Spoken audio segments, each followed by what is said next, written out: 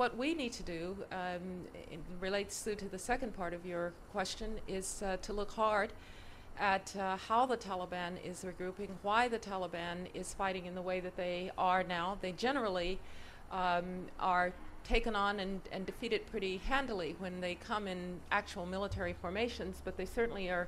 There's an uptick in the terrorism, uh, not just against forces, but against the Afghan people. And in that regard, um, everybody needs to do more, but Pakistan does need to do more. That uh, that border, uh, we understand that it's difficult. We understand that the northwest frontier area is uh, difficult, but um, militants cannot be allowed to uh, organize there and to plan there and uh, to uh, engage across the border. And so, yes, more needs to be done.